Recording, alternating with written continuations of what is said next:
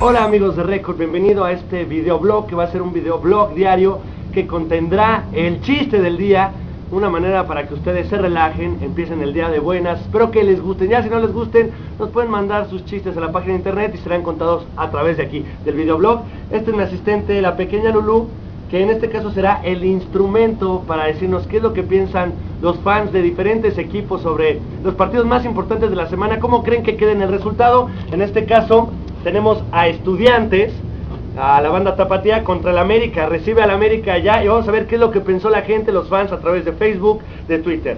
Pequeña Lulú, con su permiso, piensan que estudiantes hará uno, quedará uno y América tres. Bueno, esto es lo que arroja la información que los fans piensan, pero vamos a ver cómo queda el resultado. Esperemos que la pequeña Lulú eh, sea acertada en sus predicciones y si no, pues mejor para la banda de estudiantes y vamos a cerrar este videoblog con el chiste del día. Y este chiste viene eh, a través de una pregunta. Yo les pregunto, chicos de récord, ¿cuál es el monedero más pequeño del mundo? ¿No? Pues el brasier. ¿Saben por qué? Porque solo le caben dos pechitos. Dos pechitos del brasier. Ay, bueno. Espero que les haya gustado. Ahora cerramos con tecnología Record. Recuerden record.com.mx para que nos manden sus comentarios, sus chistes.